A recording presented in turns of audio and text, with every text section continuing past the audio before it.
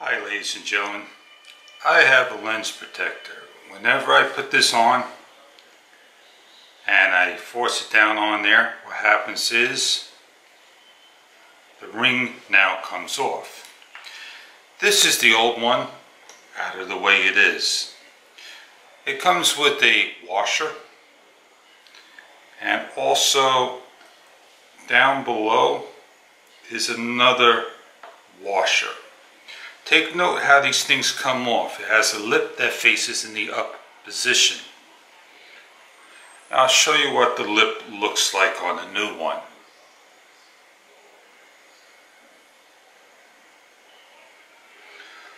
So we place this on to the camera and I'll zoom in for you so you can get a better shot of everything here.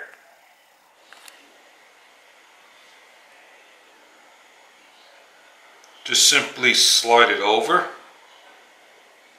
where there the spacing these fall into.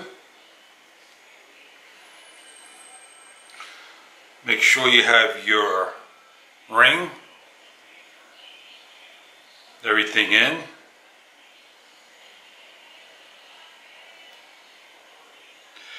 There are three tabs in here. One, two, three and they got to line up to where these tabs are at. This is the hardest part to do, so my thumb or my index finger facing right here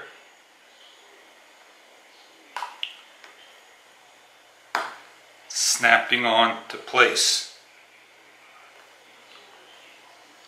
Now I could take my new lens cap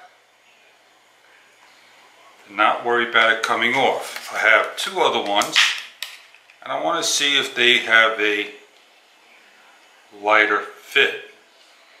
That one sure does. One of the things I like to do is place in my polar filter. And I don't want to use my finger so I'll use something of a soft plastic tip. Snaps into place. And I'm good to go. Enjoy.